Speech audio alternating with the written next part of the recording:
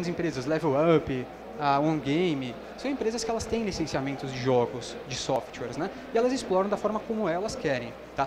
É evidente que tem algumas limitações impostas pela empresa para não manchar a imagem dos jogos, da produtora, mas a princípio a empresa licenciada ela pode fazer da forma como ela quiser. Os contratos de franquia são um pouco diferentes, aliás, para a gente ficar bem claro aqui, na medida em que a gente vê que o franqueado ele é obrigado a seguir determinadas regras. Uma comparação, um exemplo prático, é, por exemplo, McDonald's, Burger King, vocês veem que ele segue um padrão, é uma norma. Né? A gente não tem nem como incluir os games aqui na franquia. Às vezes as pessoas confundem isso daqui, mas são bem distintos, tá legal? Bom, é, a questão do contrato de licenciamento, como eu disse, ele pressupõe de fato a propriedade sobre um bem. Pode ser uma marca, inclusive, que é um bem imaterial, que a gente não pode tocar, né? que a gente chama de intangível. É só uma marca, um nome. É, mas a pessoa tem, muitas vezes, e pode dispor isso daí também, para que o licenciado explore e consiga usufruir de alguns benefícios, mediante pagamento de, de royalties ou, enfim, a forma de remuneração como fixarem. Tá? Além da marca, Pode ser uma imagem, uma imagem que alguém seja proprietária, um quadro, enfim, imagem de um personagem de um jogo. Eu já vi artista, por exemplo, que é apenas desenhista, e ele acaba vendendo ou apenas licenciando os próprios personagens para que outras empresas insiram isso dentro do jogo. Né? É bem interessante, bem legal, às vezes as pessoas não sabem, mas isso acontece, de fato. E também, terceiro lugar aqui, a gente tem a propriedade intelectual, que aqui é uma questão um pouco mais abrangente, inclusive a gente pode incluir os softwares aqui. Tá legal que a gente vai falar aqui um pouquinho mais para frente. Bom, uh, normalmente o que, que a gente acaba vendo assim de, de um aspecto geral nesses contratos de licenciamento? Preponderantemente eles incidem sobre softwares, tá? programas de computador. Depois que eles são feitos, é, os artistas reúnem toda a obra, passa a ser uma obra coletiva.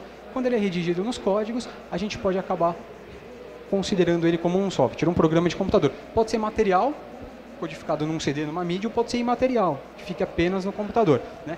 Essa lei 9609 de 98, ela define aqui no artigo 1 o que seria um software. Né? Isso daqui, se vocês quiserem ler depois, tiverem é, interesse de pegar essa lei no próprio Google, vocês acabam encontrando, é bastante interessante uma leitura, tá? Eu só não vou estender muito aqui, porque senão a gente não, não consegue acabar. Uh, isso é uma coisa, eu estou falando aqui, mas se alguém tiver alguma pergunta, quiser me interromper, tranquilo, não tem problema, só levanta a mão, tá? Eu não perco o raciocínio, depois a gente volta. Uh, vamos lá. Registro de software é suficiente para garantir a integral proteção dos jogos e seus personagens? Ou seja, depois que o jogo ele é concluído, codificado num software, o registro só no software ele já é suficiente para garantir a propriedade intelectual do jogo? Vocês acham que sim ou não? Vocês acham que não, né? Eu também acho que não. Muita gente acha que sim. Inclusive, para gente que é do direito, tem muitos profissionais que falam, não, o registro do software ele já é suficiente. Mas não, a gente sabe que tem uma série de outras coisas que dá para a gente proteger, né? Uh, a lei dos direitos autorais, que a gente também chama de copyright, que é a 9.610, ela dispõe nesse artigo 7 quais são as obras de artes que são passíveis de proteção. Tá? Esse artigo, os incisos dele, aqui eu citei o inciso primeiro, mas ele é bem extenso, ele aborda muita coisa e que a gente acaba vendo no desenvolvimento dos jogos que a gente pode proteger. Eu coloquei aqui só os mais importantes são os principais. Tá? Esses textos, obras literárias, artísticas e científicas, quando a gente desenvolve um enredo de um jogo, por exemplo, a história, pode ser uma história com H, I, ou uma história com E, que é um conto, uma ficção, enfim. Isso pode ser patenteável, pode ser registrado de forma separada, né? não precisa só registrar o software. Você pode registrar primeiro a questão do, do enredo do jogo, a história do jogo, mas só no fim é que você vai registrar o software. Isso é muito importante. Tá? Uma segunda situação que está aqui no inciso 6. As obras audiovisuais, sonorizadas ou não, inclusive cinematográficas. Muita gente também acha que é só basta você registrar um jogo como uma obra audiovisual, porque eles equiparam na prática as obras cinematográficas, que é de cinema, por exemplo, que compreende tanto uma expressão, é, uma expressão artística dos autores, dos atores, né? E também tem aquela questão sonora do filme. Mas a gente sabe que muitas vezes a, a parte sonora ela é, ela é feita, ela é produzida e não só, por exemplo, um disco ou um, ou é licenciado, por exemplo, de um artista que eles pedem para colocar na trilha, enfim. Muitas vezes o som ele é criado, o som também é patenteável. Tá legal? Pode registrar de forma separada.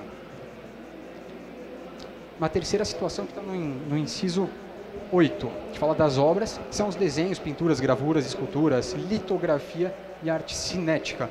Eu acabei falando já para vocês dos personagens. A gente sabe que muitas vezes a gente faz o desenho, cenários, personagens, enfim. Isso também é patenteável. É, e depois tem aquelas esculturas que muitas vezes as pessoas fazem para escanear e passar em 3D para ganhar mais vida né, no, no jogo. O que, que o pessoal é, acaba divergindo muito nessa questão de arte. Eles falam assim, ah, o desenho ele pode ser patenteável, legal, quando ele está no papel. Agora, a partir do momento que você insere ele dentro do jogo, ele já não pode ser mais patenteável. Né? E o que, que eles sustentam? As pessoas sustentam que quando você coloca um determinado personagem, vamos tomar como exemplo, dentro de um jogo, e você passa a manipular esse personagem com cores, você passa a estender ele, manipular ele, tirar aquela conotação artística primária que teve no papel, eles falam que isso já não é mais arte, você acaba tirando a conotação artística dele, né? Eu já não concordo. Eu acho que, pelo menos ao meu ver, eles devem ser registrados e não perdem esse caráter artístico, tá? Mas é uma questão que muito se coloca. E, enfim, aqui eu acho que o mais importante, que vem a fase final, é o registro de programas de computador, que é parte do software, a Lei 9.609, que a gente acabou de comentar. Os direitos autorais. Então, já me antecipei aqui.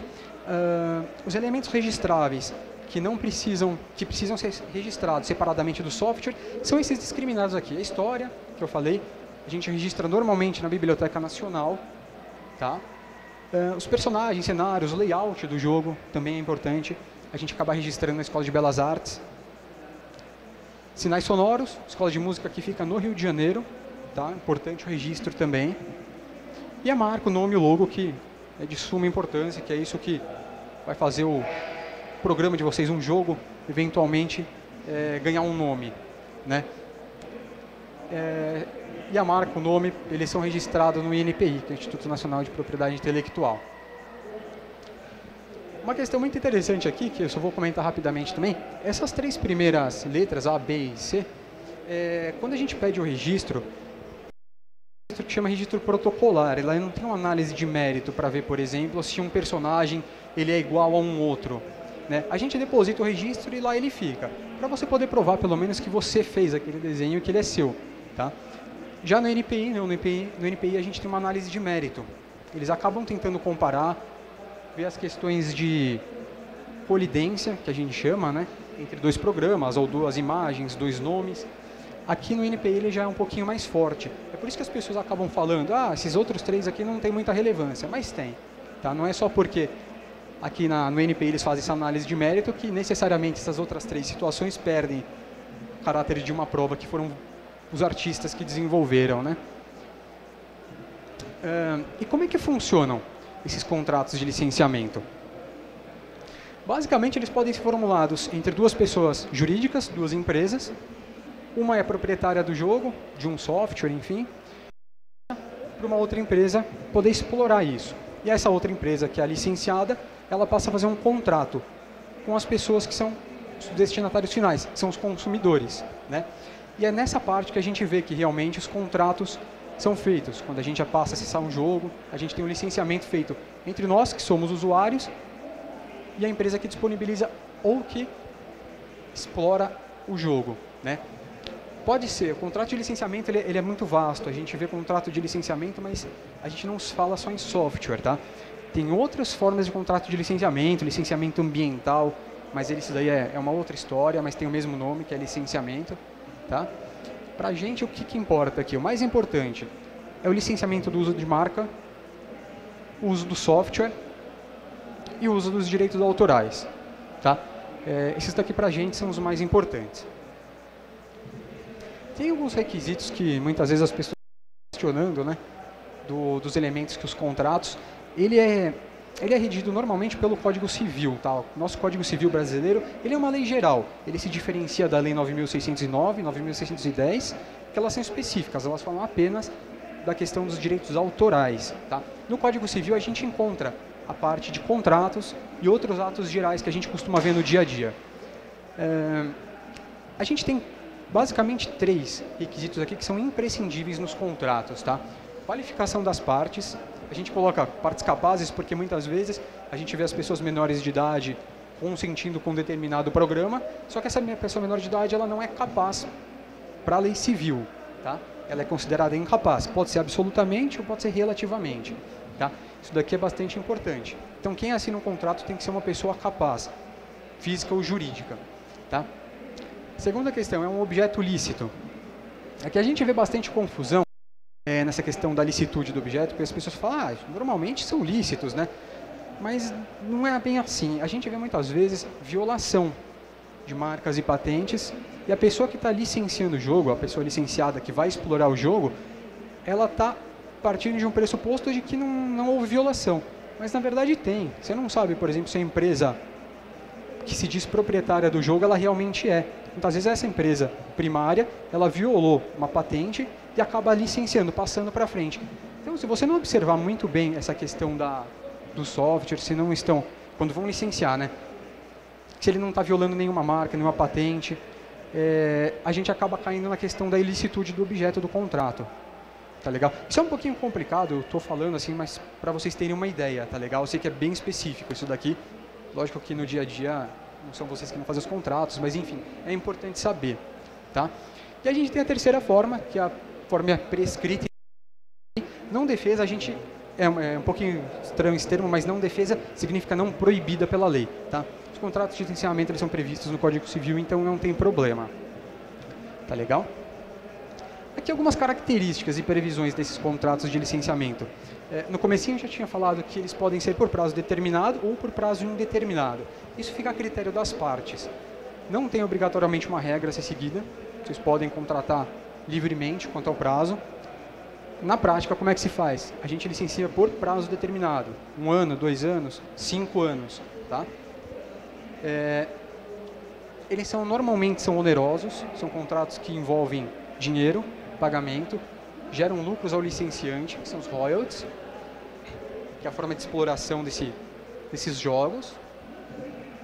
Outra característica, o usuário licenciado não adquire a propriedade do software. Nem do software, na verdade, nem de, uma, de um evento elemento que faça parte do software. A gente vê muitas vezes na prática, que eu acho bastante engraçado, tem uma empresa de jogos que a gente defende, é, ela vende, na verdade, por meio de caches, alguns itens dos personagens que eles podem implementar no jogo. Né? Muitas vezes algum consumidor não contente acaba reclamando, processando a empresa, e o que, que acontece? O usuário ele fala assim, olha, na verdade eu comprei o cache, eu inseri dentro do meu jogo, meu personagem incorporou um determinado item, então eu acho que eu adquiri, é meu. A partir do momento que eu comprei, é meu. Na verdade, não é bem assim, né? É por isso que a gente chama de licenciamento. Porque quando o consumidor ele assina um contrato com uma empresa, ele está apenas pedindo permissão para poder explorar um jogo. Isso daqui é o entretenimento do consumidor, tá? Então é muito importante isso daqui, contrato de licenciamento nesse aspecto, que o usuário ele não adquire a propriedade nem do software nem de um personagem. Os licenciamentos proíbem também previnem, inclusive, a reprodução não autorizada de cópias, produzir, gerar outras cópias e vender, né? isso é proibido. Proibida a troca, comercialização de itens, caches, personagens, instrumentos, que foi o que a gente já falou. E eles podem ser exclusivos ou não, podem ser atribuídos a uma determinada pessoa ou pode ser distribuído livremente. Isso fica a critério do proprietário, que é o legítimo, que é a pessoa legítima para poder fazer o licenciamento. O que é importante nesses contratos? Agregar valor ao produto. Quando a gente passa a vender, licenciar, o jogo passa a ser conhecido. A gente vai agregando valor. Isso que é muito importante. Às vezes as pessoas querem explorar só elas, que são proprietárias, e acabam gerando, tendo um pouquinho de dificuldade. Por isso que é legal esses contratos de licenciamento. Faz com que você se destaque dos concorrentes, aproveite a oportunidade de associar rapidamente um produto ao modismo. Modismo leva em consideração como moda, né? divulgar o jogo e atender de uma forma mais adequada a determinados segmentos públicos. Aqui a gente pode incluir um gênero de um jogo, de é, tiro em primeira pessoa, RPG, enfim. Aqui eu achei bastante interessante uma, uma matéria que eu encontrei num, num site. Eles falam das propriedades mais exploradas no Brasil, licenciadas. Né? A parte de entretenimento, que a gente inclui os jogos, o Brasil tem 70%, 70% de lucro nas questões interno, né, nas questões de entretenimento. Depois, na sequência, vem 20% de mercado de licenciamento de propriedades corporativas, que é um aspecto geral, e 10% de esportes. Eu achei engraçado que os esportes estão lá embaixo, né? entretenimento já está lá em cima. Isso é bastante importante. A gente pergunta aqui, por que não incluir na cultura? Né? É, aqui também a gente fala que o Brasil está entre os seis maiores países nessas questões de licenciamento, que a gente vê a criatividade brasileira quando patenta alguma alguma obra de arte dele, né? Entre, o, entre os outros, os primeiros, obviamente, estão os Estados Unidos, Japão, Inglaterra, México. No segmento de games eles são, se destacam muito.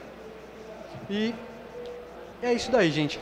É, eu queria deixar meus contatos. Se vocês tiverem alguma pergunta para fazer, alguma questão, dúvida. Tranquilo? Você? Ele vai levar o microfone.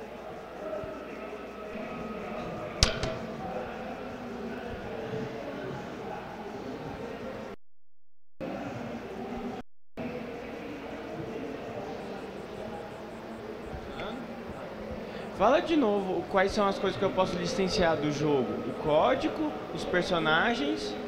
Oh, Para você ter uma, uma visão geral, normalmente é aquilo que envolve uma obra de arte. Tá? O que, que você faz? Nos, por exemplo, o que, que, que, é uma obra artística?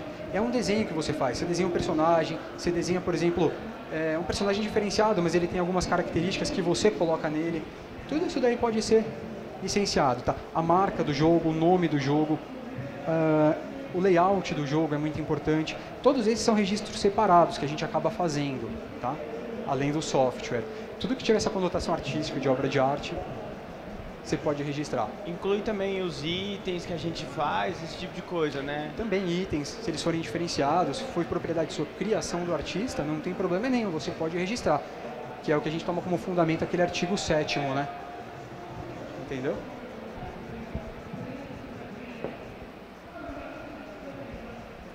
Mas assim, então, eu vou registrar, por exemplo, os itens que ele falou. Eu vou ter que registrar cada um separadamente ou posso registrar todos de uma forma só?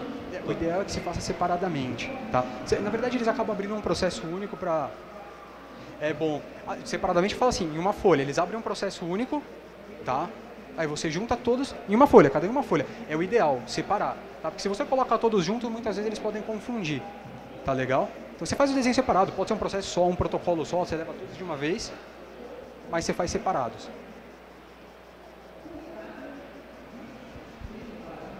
E você falou também do da parte quando você joga pro, joga pro computador, quando você modifica, joga cor, você anima tudo. Você falou que essa parte também dá para registrar, né? Dá para registrar, mas aí cai mais no layout do jogo. Ah, daí cai no layout. Cai Não dá, por exemplo, para registrar o desenho e o o desenho passado no programa junto. Você pode até fazer dessa forma também. Tem gente que faz dessa forma, não tem problema. Como, se, como se registrasse a imagem do personagem inteiro, assim, qualquer reprodução da imagem do personagem está registrado para você. Sim, fica registrado no seu nome. Você pode fazer também. Depois que você inseriu no computador, você pode gravar ele. Na verdade, a gente faz em vários ângulos, né, que a gente chama de terceira dimensão, para poder verificar todas as formas. E você pode fazer sim, depois que ele tiver já com as cores e enfim, pode fazer sim. Tá bom?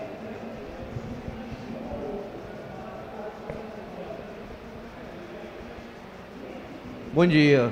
Bom dia. É que você falou deu os locais para fazer o registro. Esses locais só realmente só são nesses locais mesmo nos estados? Desculpa, não estou entendendo que está muito alto do lado. Você pode falar só um pouquinho mais alto?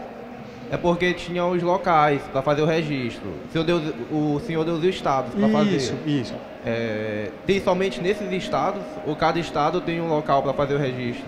Na verdade, cada estado tem um, normalmente. Alguns lugares é só no Rio de Janeiro. INPI é tudo no Rio. No Rio de Janeiro. Escola de Belas Artes tem em São Paulo também. Tá? Mas cada estado tem a sua escola de belas artes. Tá? Isso é importante.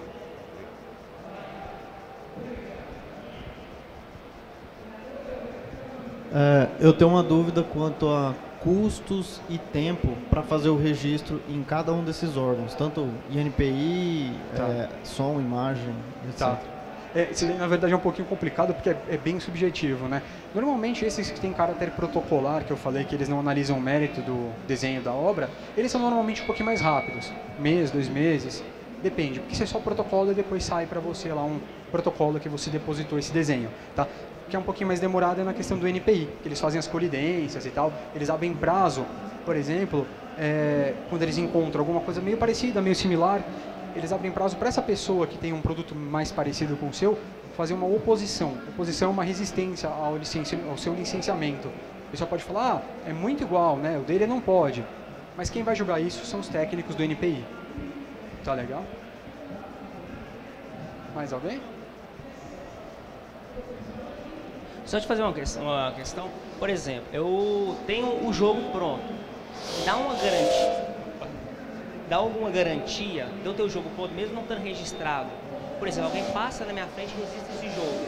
Um mês depois de eu ter feito o, o jogo pronto. Ele ganha ainda, vamos dizer assim, um processo? Pode ser que sim, pode ser que sim. Isso é bem subjetivo porque a lei, na verdade, ela fala que a criação, essas obras de arte, elas independem de registro, tá? Você não precisa necessariamente registrar. Por que é que a gente fala que o registro é muito importante? Justamente para você poder ganhar essa obra de ter uma garantia de que foi você que fez. Agora essa questão, por exemplo, você lança Alô, alô? Você lança um jogo, um software, é, sem registrar, mas depois de uma semana Aí depois de uma semana, uma semana, um mês, dois meses, vem outra pessoa e registra o jogo igual, ou seja, o seu, seu jogo. A pessoa pega e vai lá e registra, um espertinho. Você vai ter muita dificuldade em provar que foi criação sua. Dificuldade eu digo assim, não nas obras que você fez ou que, por exemplo, a sua equipe fez, mas você acaba despendendo muito tempo e vai gerar muito custo para você, porque vai ter que abrir um processo, isso demora muito, entendeu? A prova ela fica um pouco mais difícil, tá? Mas independe, se você criou, a obra é sua.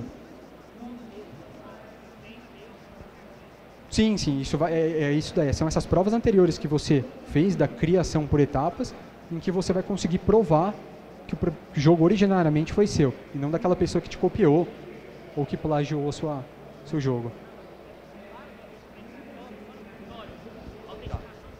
Tá, a pergunta dele é em autenticação em cartório. É válido, mas na verdade quando você pega imagem, não. Imagem eles não registram, tá? O que eles registram são contratos. Né? Isso é bastante interessante também, porque muitas vezes a gente pega a questão de contrato internacional e os contratos internacionais eles são registrados em cartório para ter validade no Brasil. Eles são muitas vezes executados no Brasil, ainda que a, o contrato tenha sido feito com empresas americanas, enfim. Tá legal? Se eu pegar um envelope e enviar para mim mesmo e deixar ele lacrado, isso tem algum valor? Na verdade, é, é uma, uma pergunta que eu nunca, nunca ouvi, mas é, é uma forma de você provar, né? É, você deixa lacrado, é uma forma de você provar, inclusive por causa da data. Né? Você tem uma data de que você remeteu a correspondência. Mas se você fosse remeter por remeter, você podia remeter direto por NPI, porque eles aceitam né, os protocolos feitos por carta. Então, às vezes, como é no Rio de Janeiro, é, eles acabam. Eles falam, é por carta, pode ser por carta. Inclusive software, você grava na mídia, preenche um relatório, coloca tudo dentro de um envelope e manda. Você entendeu? Aí eles abrem um processo e ganham o um número depois. Tá legal? Mais alguém? Legal. Bom, gente, então é isso aí. Meus contatos estão aqui. Se vocês tiverem alguma dúvida, eu vou ficar ainda mais um tempinho aqui. Muito obrigado. Bom proveito aí para vocês.